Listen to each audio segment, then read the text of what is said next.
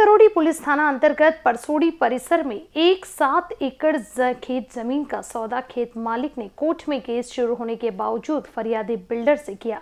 इसके लिए आरोपी ने फिरियादी से करीब तीन करोड़ उन्नीस लाख नब्बे हज़ार भी ले लिए। जब फिरियादी ने रजिस्ट्री करवाने के लिए कहा तो आरोपी टाल मटोल रवैया अपनाने लगे और आखिरकार बिल्डर को अपने ठगे जाने का एहसास हुआ, जिसकी शिकायत आखिरी में बेलतरोड़ी पुलिस थाने में की गई।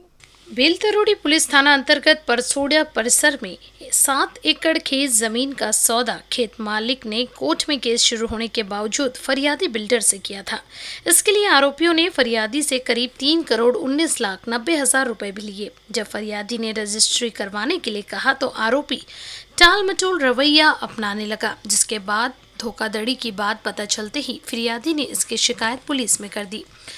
आपको बता दें कि दरअसल मामला कुछ इस प्रकार से है। फिरियादी builder Vardan Vinod Bora, plot number 402 Ramnagar चौक, अंबाझरी, निवासी बताया जा रहा है। फिरियादी ने साल 2014 में आरोपी खेत मालिक जनार्दन बारई, जितेंद्र जनार्दन बारई, राधाबाई देवराव मोरे देवराव मोरे सभी वार्ड क्रमांक तीन श्रीनगर, तिवस्कर, वाड़ी, रायपुर, हिंगना निवासियों ने मिलकर मौजा परसोड़ी खसरा नंबर सैतीस ऑब्लिक ज़ीरो वन में सात एकड़ के ज़मीन का सौदा फरियादी से चार करोड़ अस्सी लाख में किया था। हालाँकि जिस खेत ज़मीन का सौदा आरोपियों ने किया था, वह ज़मीन विवादित थी और उसके खिलाफ कोर्ट में केस भी शुरू था। परंतु आरोपियों ने इस बात को फरियादी से छुपाते हुए उससे तीन करोड़ उन्नीस लाख नब्बे हज़ार रुपए भी ले लिए। जब फरियादी ने ज़मीन की रजिस्ट्री के लिए कहा तो आरोपी टाल मटोल रवैया अपनाने लगे। धोखाधड़ी की बात का पता चलते ही फिरियादी ने इसकी शिकायत पुलिस में कर दी। परसो पुलिस थाने के हद में परसोड़ी गाँव है। परसोड़ी गाँव में डोमाजी किशन बाराई, इनकी पूरा बारह एकड़ खेती थी। उसमें से बारह एकड़ खेती वामन राव उनका लड़का वामन राव दौलत राव और चार लड़कों के लिए देना था। लेकिन वो जो बारह एकड़ खेती थी वामन राव ने सात एकड़ लिया और दौलत राव ने पाँच एकड़ लिया।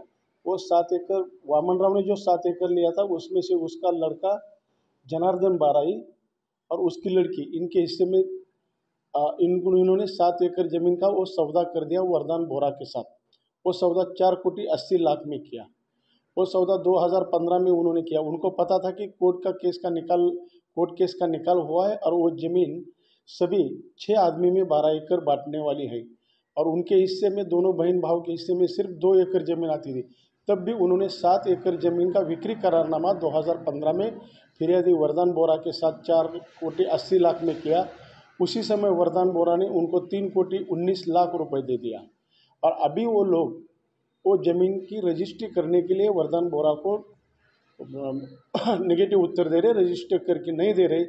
इसलिए वरदान बोरा ने फिरियाद देने के बाद उसके चारों के खिलाफ 420 120 ब चौंतीस के कलम के अंतर्गत गुना दाखिल हुआ है। बहरहाल, पुलिस में शिकायत मिलने के बाद आरोपियों के खिलाफ भारतीय दंड विधान की धारा 420 120 व 34 के तहत मामला दर्ज कर आगे की जाँच शुरू कर दी गई है। इन न्यूज़ के लिए कैमरा पर्सन अखिलेश भरद्वाज के साथ रूपा पंडित की रिपोर्ट।